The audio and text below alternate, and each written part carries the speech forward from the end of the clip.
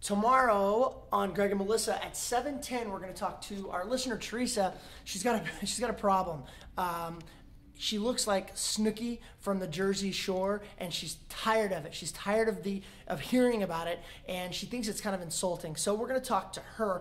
Also, we're going to play a new game just in time for Halloween. Know your candy. That's right. All of us will be blindfolded, and we have to guess what mystery candy we're putting in our mouth. That'll be fun. Also, a little bit of Trey walking and your chance at Live 95 tickets. After 8 o'clock, listen for the cue to call, and you're going to go see the Goo Goo Dolls this Saturday night with us. See you tomorrow morning.